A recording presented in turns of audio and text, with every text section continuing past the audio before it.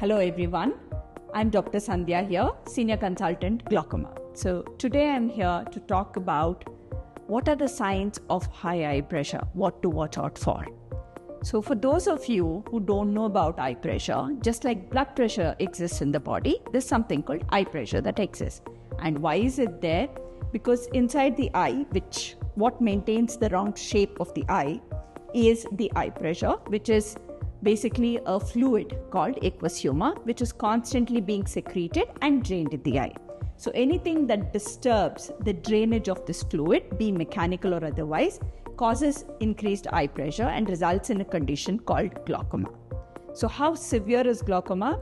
Glaucoma is a very severe condition.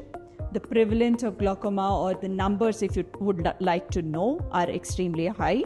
It's the second major cause of irreversible blindness all over the world.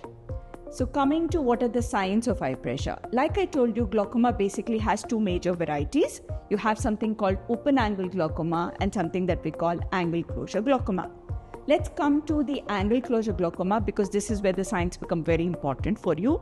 This is an acute condition. What do I mean by acute condition? Something that comes very quickly and it has signs. What are the signs that a patient can come with? You could experience severe redness in the eye, the vision which drops and starts becoming cloudy, the eyes which become red and inflamed and they look big, watering from the eye, headache. The headache can become very severe, go on to a nausea, go on to vomiting.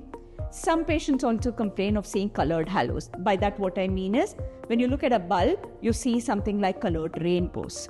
So, all of these could be your signs of sudden uh, high eye pressure. What do you do then? You have to immediately rush to your ophthalmologist and make sure you get treated. Now, coming to the other type of glaucoma and what its sign could be the open angle glaucoma. This is called as the silent killer of sight. Open angle glaucoma causes mainly visual field loss, which means when you're looking straight ahead, this is your visual field and it goes like that and constricts the visual field. Hence, the signs are not as ominous as angle closure glaucoma is. Uh, how could you still pick up a few signs? Frequent change of glasses, especially in adults who are about 40 or uh, 60 years of age. They could also have difficulty while they're walking. So basically, they have a field defect somewhere down there, and when they're walking, they're not able to see the stairs properly or when they're walking inside the house, especially in dim lit conditions, they could hit themselves against furnitures. Sometimes, when there are objects which are placed higher up and others can see it, they will not be able to visualize it. For example, you have a window and you, you are able to see it and close it, and a person who has a field defect in this area will not be able to see so.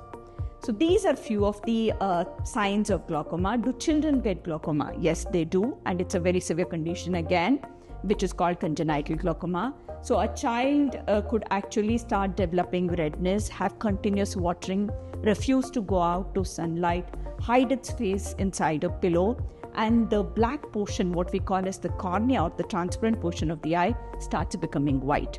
So, then these are the signs for you, a red flag for you to come to your doctor. What can you do to prevent it? Regular eye examinations, very important especially in the elderly, more than 40, if you're someone who's wearing glasses, someone who has conditions like diabetes, hypertension, migraine, sleep apnea, make sure you have regular eye examinations.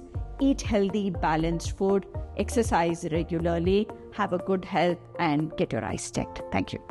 If you did like the content here, do like it, share it, and subscribe for us. Our subscription is below. Thank you.